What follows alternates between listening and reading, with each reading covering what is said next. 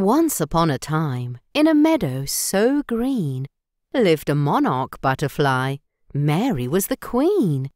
With wings of orange red and spots white as snow, she was a beauty to see as she flew to and fro.